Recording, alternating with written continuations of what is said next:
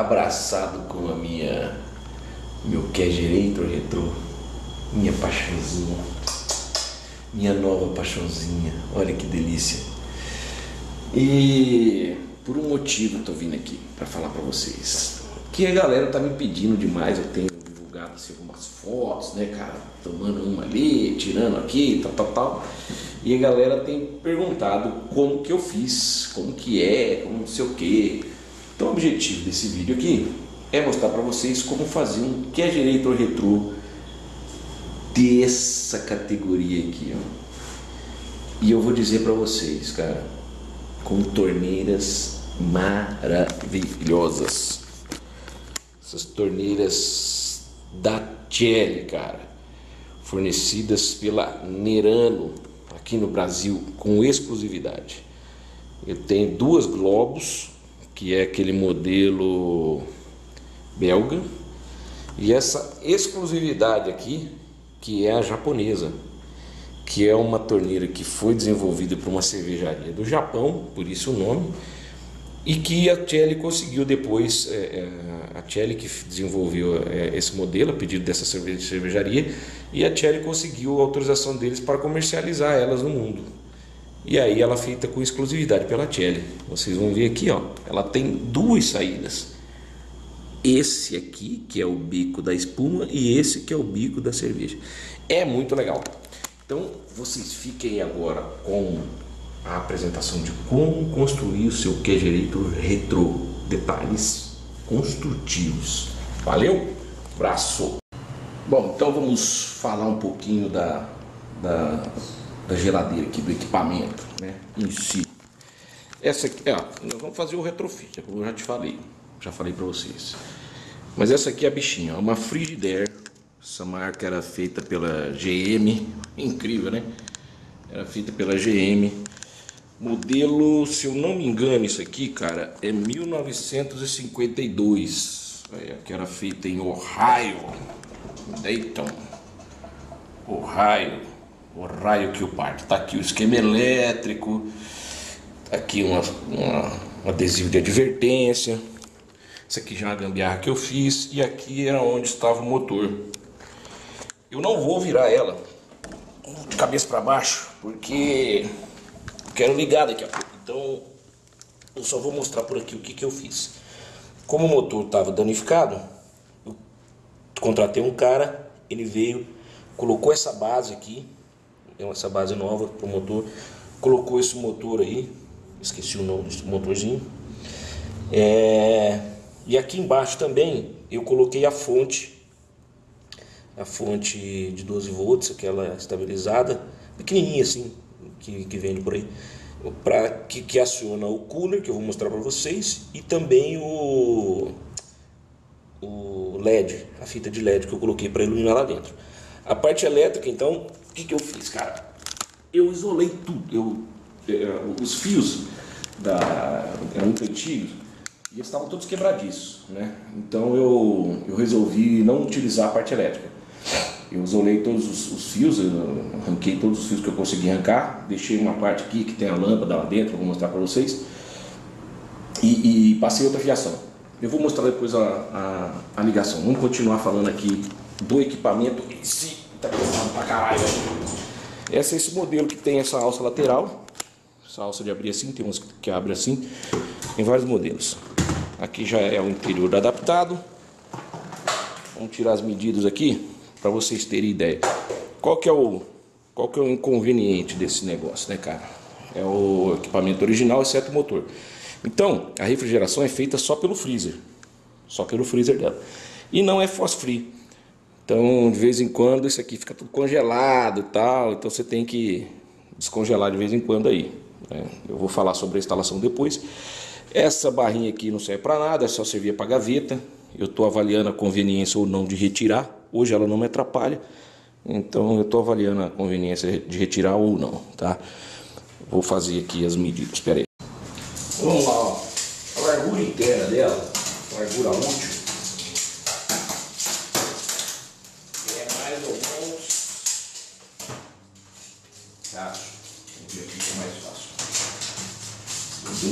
Tô bem jeitoso hoje.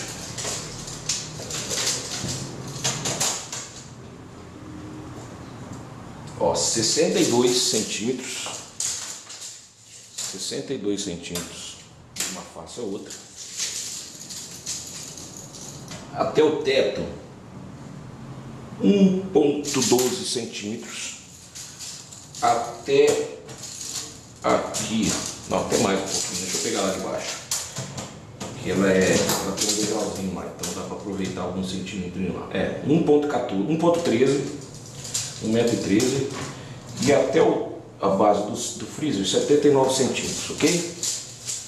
Então 62, 1.13 até aqui em cima, mas você vai usar só até aqui, 79. E de profundidade, que isso é muito importante, 39 centímetros também. Então, 39 centímetros de fundo, 62 na lateral e 79 útil aqui, de altura até embaixo do freezer. Então, anota as medidas e não fica me perguntando lá nos comentários, viu, seus preguiçosos? Vai lá e assiste. É, essa largura aqui, que é muito importante para a gente, e essa profundidade, é, limita aí o acesso ao tipo de barril que a gente consegue colocar aí. É, não dá para colocar aqueles barris convencionais, os, os barril de 30, barril de, de 50, aquele grande. Ela não cabe no diâmetro aí. Eu ganhei um de 30, tive que vender e trocar por um slim. Então cabe tranquilamente dois barris slim desse. Eu tenho um de 30, possivelmente é, cabe o de 50 também. Ou dois post-mix, ou um desse e um post-mix, além, que é o meu objetivo aqui, de um kegzinho daqueles pequenininho, de 5 litros, 10 litros. Também cabe aí, mas vai ter que, vai ter que ajeitar em cima do outro. Então você pode colocar, que é o, é o que eu vou tentar fazer aqui, dois barris, um, ou um, um, no meu caso, um post mix de 19 e um barril de 30, e um post mix ou um, um iKegzinho, um kegzinho daqueles pequenos, de 5 litros, em cima dos outros dois ali, de forma que eu possa ter três torneiras na chopeira, certo? É, funcionamento da máquina é isso, é bem simplesinho. Bom, vamos falar de novo então agora da instalação. Como eu fiz e por que eu fiz? Então eu, eu isolei toda a fiação. É bem simples, a fiação vem por baixo da geladeira. Ela sai aqui por baixo. Deixa eu tirar isso aqui. Isso aqui é encaixado. Ó. Esse negócio é encaixado, essa frente é encaixada. Então a fiação, ela vem por aqui, lá, ela sai lá do motor e entra por aqui, ó. Isso aqui é a própria instalação da geladeira. Ela entra aqui e sobe. Essas, essas partes plásticas aqui, é um, é um, é um negócio plástico aqui, elas saem, né? Você, isso aqui é tudo removível. Você tira essa presilha aqui, tira essa presilha aqui e você tira essas partes plásticas. Tem que tomar cuidado que quebra, né? É uma bosta porque é antigo, acaba, fica ressecado e quebra fácil. Então o que, que eu fiz, cara? Na parte da elétrica. Eu isolei é, retornando ao assunto, né, eu isolei. Desliguei todos os fios dela, inclusive esse fio do, do, do, do controlador aqui do termostato dela. Eu desliguei tudo. Eu peguei a, a, a instalação toda e fiz através de um TIC, esses controladores de temperatura que a gente usa para controlar a fermentação. O sensor do TIC, eu isolei o sensor da geladeira, não estou usando, tá? O sensor do TIC eu coloquei aqui no piso com a fitinha de dupla face segurando ele ali. Então ele está aqui desde já já está com seis meses eu acho ou mais essa geladeira aqui e com essas duas fitinhas dupla face coloquei o, o, tique, o sensor do tique ali embaixo que é onde fica mais gelado e é ele que controla a parte de, de refrigeração. Deixa eu vir para esse lado cá aqui tá para mostrar para eles para vocês onde eu coloquei o tique. Essa essa tampa lateral aqui da geladeira, ela solta, tem uns parafusos aqui, ó, parafuso em comum, solta. Eu, eu fiz um recorte aqui, como esse, eu acabei fazendo os dois porque caguei, né, ficou meio baixo isso aqui. Eu fiz um recorte aqui, coloquei o tique aqui. Então é ele que eu, que eu dimensiono para ligar e controlar a temperatura. Eu coloco aqui em geral, geralmente eu coloco quando vai ter festa aqui em casa, uma coisa assim, eu coloco um e meio, ali positivo um, um grau ou um grau e meio e deixa ali. No, depois que acaba a festa, porque assim, eu não tomo toda hora, né, velho? Então, geladeira, quanto mais fica ligado, mais você gasta energia. Eu coloco entre 3 e 4 graus ali, no normal, para ela ligar e desligar menos, né? Economiza um pouco de energia e sempre vai estar gelado, porque, cara, funciona. É... Daí, qual que é a jogada? Como eu falei para vocês, o, o, gelo vem só daqui, a refrigeração vem só desse freezer. Então, o que, eu fiz, cara? Eu peguei um coolerzinho de computador, coloquei aqui, ó, nessa grade, com um startupzinho mesmo. Prendi ele aqui. Ele está ligado na fonte que também alimenta essa fita de LED. Daqui a pouco eu vou ligar a geladeira para vocês terem uma ideia de como é que funciona. É uma fita de LED RGB. É porque eu não tinha outro controlador de LED, eu tinha fita, mas não tinha o controlador. Então eu tinha isso daí largado ali no, numa instalação. Eu tirei o controlador do RGB, deixei aqui o sensorzinho para fora. Então com controle remoto você pode mudar a cor aqui interna, na hora que abre. Essa, essa ligação está conectada aqui. Eu peguei o fio que ia para a lâmpada lá, que eu não, que eu não, vou, não usei, né? Eu não, também não tirei, deixei ali. Só peguei o, o fio que controla a abertura da porta, a, a luz da, de acendimento da porta, e, e liguei ele na, no controlador da fita de LED. Então, na hora que eu abro a porta, ele acende a fita de LED.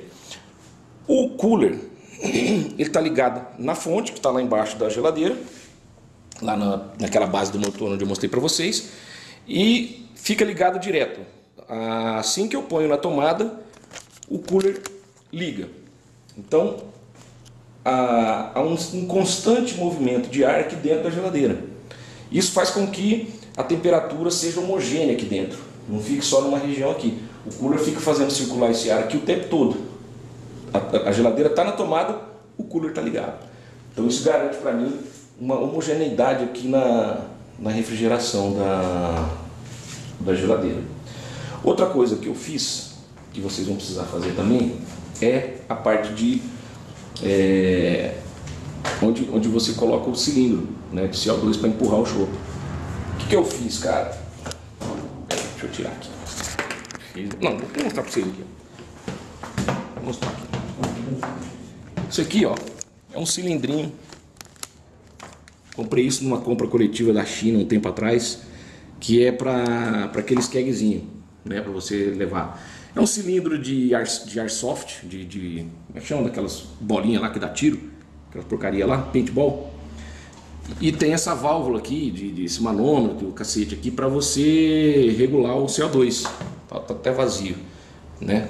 Eu peguei, coloquei uma, uma, uma, um velcro aqui, grandão, preso lá na, na própria geladeira e apoia aqui.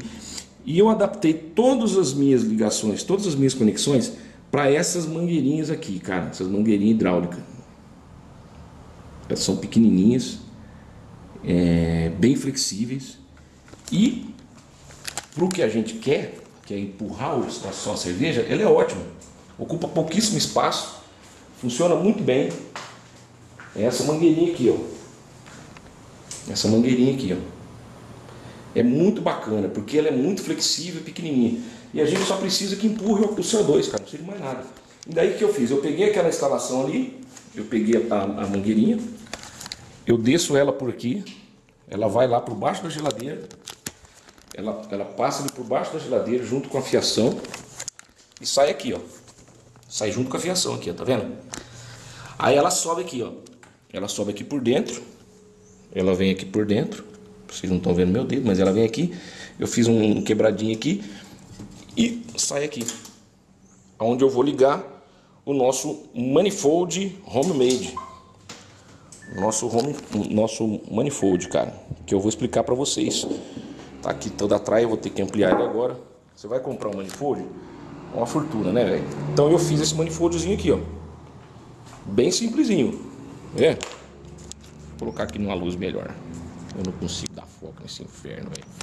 Vamos, deixa eu ver se consigo dar foco assim. Ó, coloquei os conectores aqui, válvula, duas válvulas, uma curva, um nipple, um T. Esse aqui é o que recebe o gás que vem do cilindro.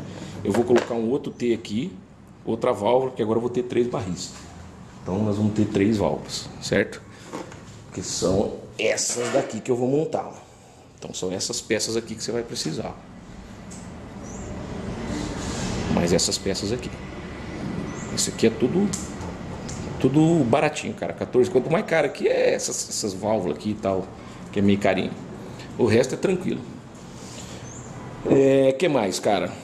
Bom, nós vamos colocar, obviamente, as belíssimas torneiras da Tchelle, que eu recebi gentilmente lá da Nerano, nosso parceiro aí do canal.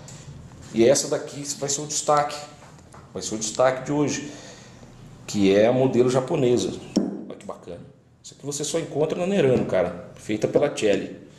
Entendeu? Então, nós vamos colocar aqui.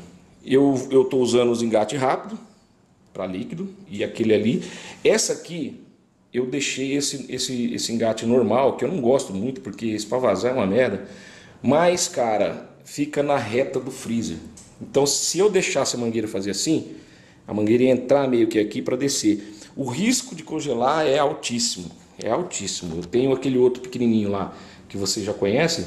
Aquele congela, você imagina esse aqui que fica na cara do gol e é não tem nem frost free, nem não tem nem descongelamento automático. Vocês imaginam que, que merda que vai ser. Bom, então, o processo de construção agora que nós vamos fazer é primeiro, eu vou montar o manifold, que é rapidinho. Depois, cara, qual que é a minha, qual que é minha intenção? Ah, essa geladeira também, ela quando eu comprei, ela veio com essa bandeja, né? Então eu preciso dar uma, uma pensada que a bandeja ficou um pouco curta para as torneiras que eu uso. Vou ver o que eu vou fazer. Ele colocou um dreno, o cara colocou um dreno aqui, ó. Mas eu não gostei desse negócio de dreno aqui. Eu fechei, eu tampei o dreno lá e fiz um furinho na bandeja e, e, e coloquei uma borrachinha lá para drenar por fora. não quero ficar essas tranqueiras lá. É, um grande, grande desafio de hoje será furar aqui. Que a minha ideia é colocar essa torneira mais ou menos aqui. Colocar japonês um pouquinho mais baixo aqui assim, por questão de estética mesmo, não quero colocar aqui, sei lá, vou ver, mas eu acho que eu vou colocar um pouquinho mais baixo aqui, essa é a minha ideia. E daí, meus amigos, essa encrenca aqui, cara, é chapa, velho, é chapa grossa, mano, então isso aqui vai ter que furar. E o pior, cara, eu tenho que tirar essa tampa para poder acessar lá, colocar a torneira, que eu, que eu comprei o, o shank, né, que a gente fala, esse extensor aqui. É, outra coisa, comprei e pedi um O-ring, cara. Tá vendo um O-ring lá dentro?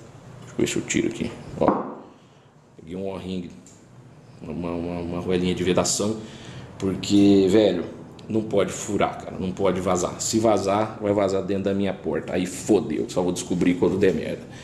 Então eu tenho que furar lá, vou ter que furar aqui na mesma altura, passar esse esse shank lá, prender a torneira e trazer para fora.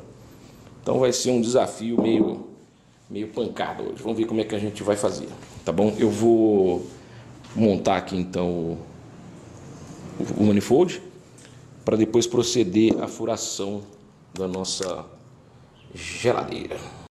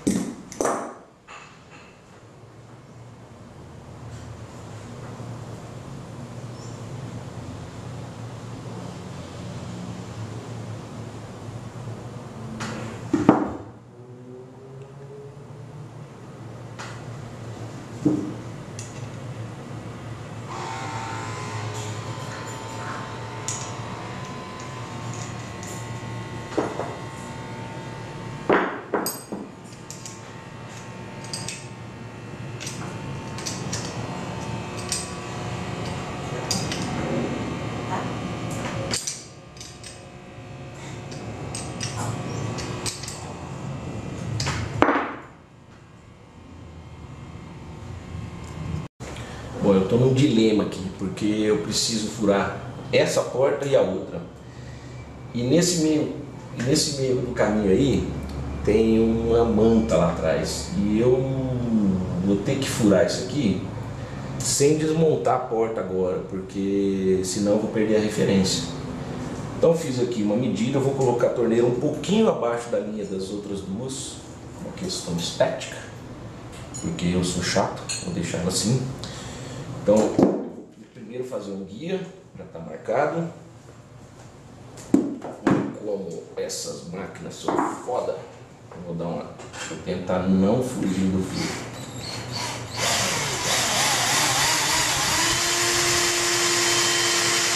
Ih, broquinha minha boca, hein? Black and Decker. Bichinho tá suando pra furar. Ih, caralho, não furou. Vamos lá. Bota, já era.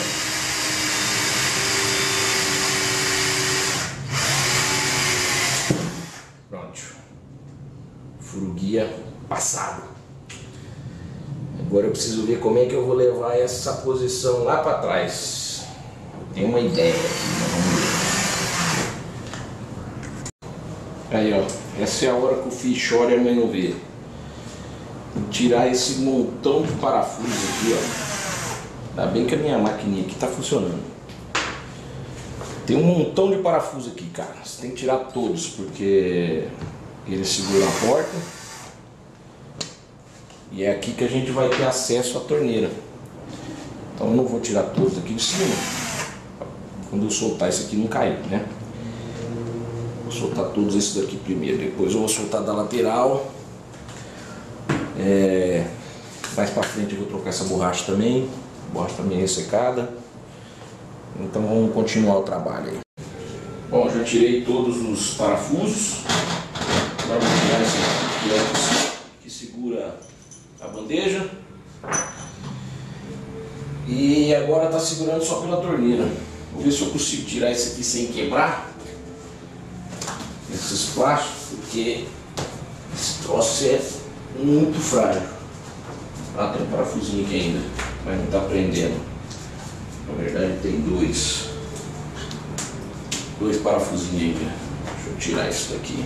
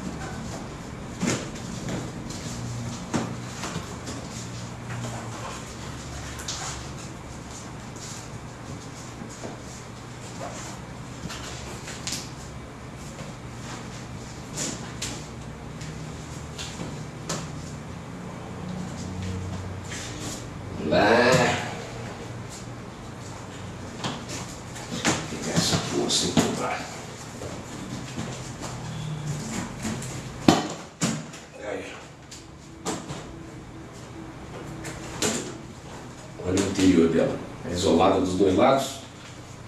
Vou deixar ela deitada aqui no chão. Para eu poder tirar essa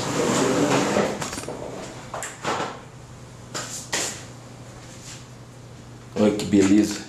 Credo. Isso aqui é uma maçaroca do caralho, mano. Olha lá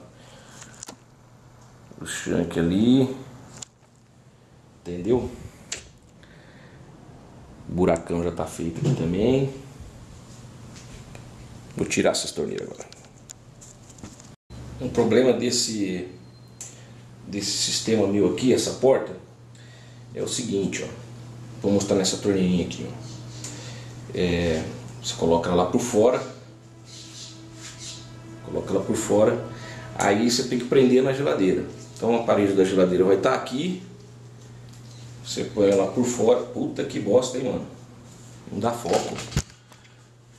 Você põe ela por fora. Aí tem que pegar a porquinha, prender a torneira na porta da geladeira. Vai, vamos dizer que você ficou preso ali assim. Um pouquinho mais para trás, peraí. Aprofundar mais aqui que eu vou te mostrar qual que é o problema que nós temos, cara. Fora do foco, né? Além do foco, qual o problema que nós temos? Então, suponhamos que você chegou lá no limite da porta. Pronto, travou ali na porta, né? Aí você tem que colocar o shank, que é a canela, a prolongador aqui. Eu tô colocando esse O-ring aqui dentro, esses O-ringzinhos aí de, de vedação. Por quê? Ele vai ficar embutido lá, eu não vou conseguir ver lá depois. Então, a hora que eu fechar aqui, ó, eu, ponho, eu prendi a torneira lá na porta. E eu fechar esse trem aqui, encostou, eu nunca mais vou abrir essa geladeira. Eu espero nunca mais ter que abrir essa geladeira, arrancar essa porta toda e tal.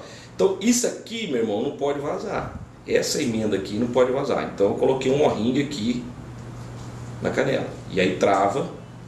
E depois, a hora que eu colocar a outra parte da porta, eu vou travar aqui. De forma que esse negócio aqui não vaze mais. Não vaze mais ou não vaze nunca. Então esse é o único inconveniente que eu vejo de colocar esses pescoços aqui, esses prolongadores, porque eu tenho que garantir que isso aqui não vai vazar, essa emenda aqui não pode vazar, porque essa porta vai ficar fechada e eu nunca mais vou ver aqui dentro. Então, não descuide, geralmente não vem com esse O-ring, essas canelas aqui, esses prolongadores. Coloca um O-ring aqui de silicone, esse atóxico, entre a, entre a, a canela e, o, e a torneira para você não ter sufoco depois. Então já coloquei um aqui, fiz exatamente esse procedimento lá dentro. A outra torneira já está instalada ali. E essa daqui está aguardando eu fazer o furo ainda. Então minha mulher foi comprar uma outra broca, porque minha broca pifou. Minha broca já é Elvis. Daqui a pouco eu volto. Bom, com a ajudinha dessa broca, que minha mulher foi lá comprar.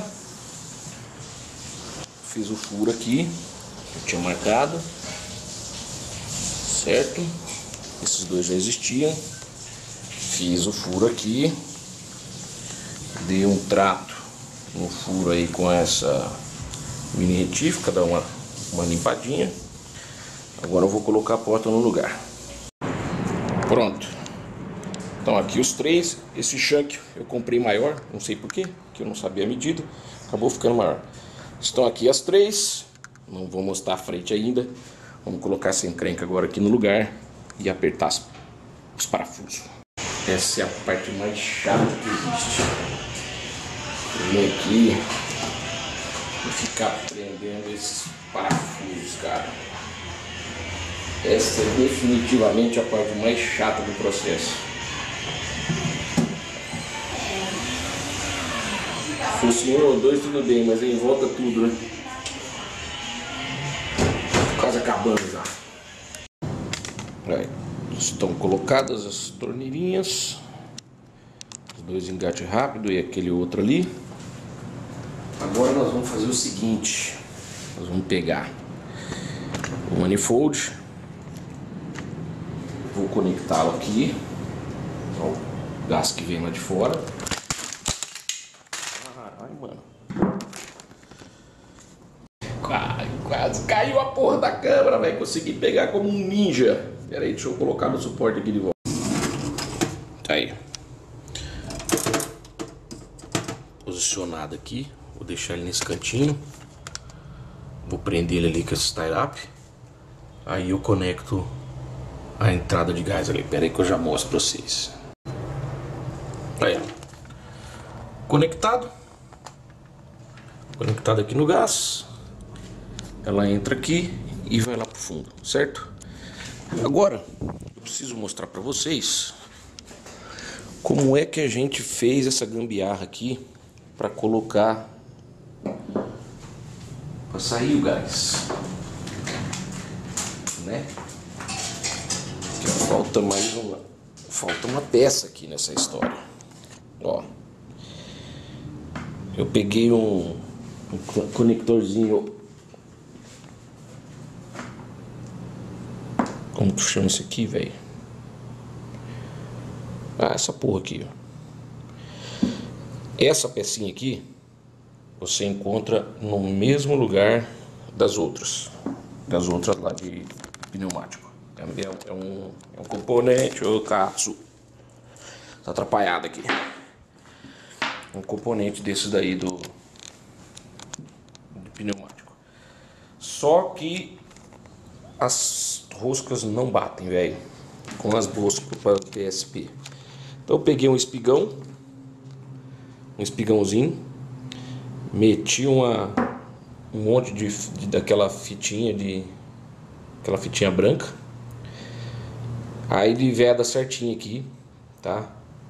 Aí eu liguei o espigão com uma mangueirinha no, no conector, no caso aqui o meu Ballock. É, o meu é aquele de rosca, cara. Mas se for com a ponta de espigão também funciona. Aqui eu usei uma outra mangueira. Isso aqui não é muito boa não, isso aqui é melhor. Mas eu vou usar essa que já está montada. Aí é só conectar isso aqui aqui. E você vai ter aí pronto a linha de gás. Olha que simplesinho. Não é mesmo? Vamos colocar os três agora para finalizar. Pronto. Tá tudo instalado, ó. Desengate rápido. Eu identifiquei esse aqui com um vermelhinho, que é para ficar mais fácil depois de eu identificar lá dentro. Esse outro aqui também e essa aqui que vai ficar pertinho do freezer vai ficar para baixo.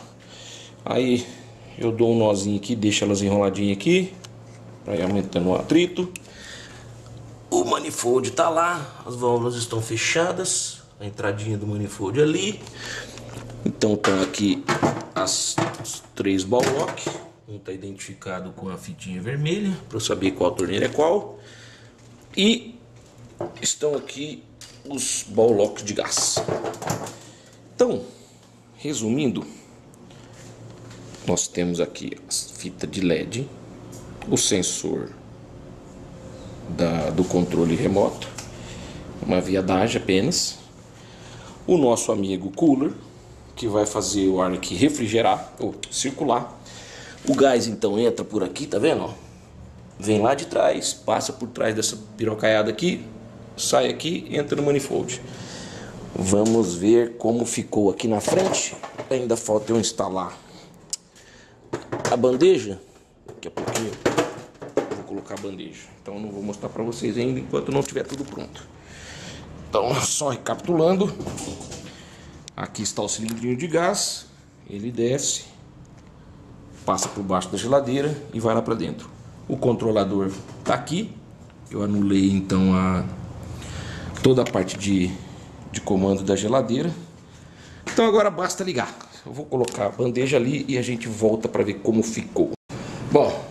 Tá aí a bichinha pronta. Aqueles parafusos ali, ó, são os parafusos da bandeja que eu coloquei. Agora eu vou ligar aqui para vocês verem como funciona. Então assim que eu ligo, o cooler também liga, ok? Tá Acendeu. ligou o motorzinho, vocês viram a fita de LED lá, né? E aqui está o nosso brinquedinho. Hã? Olha que show de bola, ó. Globus, japonesa, Globus, Baicelli, Nerano, Baicelli. Agora eu vou fazer o seguinte, ó, um copinho ali, ó, e tira a breja.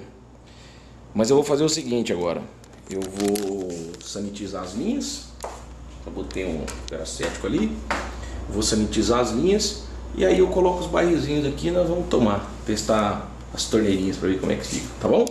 Já já a gente tá aí de volta. Bom, acabei de ligar. Então a temperatura interna ali ainda tá 20.3. Daqui a pouquinho ela baixa mais. Já coloquei os barrilzinhos ali que tava gelado. Da, da outra geladeira. E a ideia é que essa criança fique assim, ó. Esses dois aí. E mais o pequeno lá em cima, tá vendo? As três torneirinhas aí para nos dar a alegria que a gente precisa. Olha, tá começando a criar uma camadinha de gelo. O coolerzinho aqui tá no pau. Então, Daqui a pouquinho a gente vai tomar breja. Agora vamos ao que interessa, né, velho? Vamos ao que interessa. Ficar mais pertinho aqui, senão vai ficar muito espuma. Isso aqui é a Globos,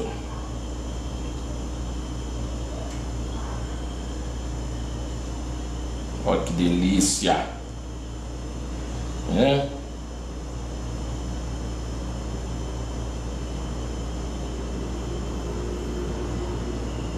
Vou colocar um pouquinho de espuma agora. É assim que você põe espuma com essa torneira aqui, ó. Para lá em cima um pouquinho. Olha aí.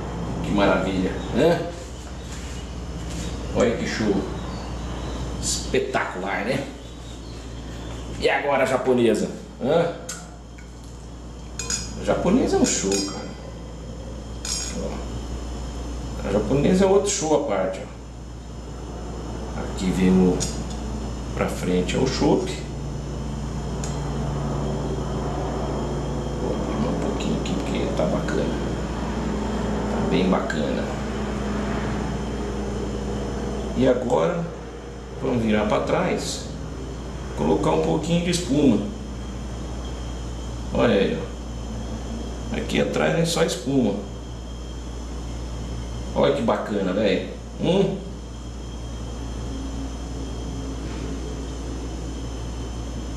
Só espuminha aqui, ó. Que coisa mais linda, hein, rapaz. Vou ter que pedir ajuda pra minha mulher vir ajudar a tomar. Um pouquinho mais de cerveja. Olha aí. Espetáculo, mano. Deixa eu colocar um pouquinho de espuma aqui que eu tenho que tirar uma foto agora, velho. Aí sim, hein? Hum? Aí sim. Pera aí. Agora, meus brothers. Vou ter que fazer esse sacrifício, ó. Baltic Porter. Bremer Pilsner. Bremer Pilsner não, isso aqui é a pilsenzinha do churrasco da galera. Saúde! As torneirinhas da Nerano, que aliás são da Chelly. Show de bola, aprovadíssimas. E agora é só tomar. Né? Quando você precisar de torneira top, procura lá na Nerano, entendeu? E se você quiser fazer um, um top, você já aprendeu. Olha ele aí. Hã? Bacana demais. Sejam bem-vindos aí, ó. Faça o seu também, é fácil e saúde!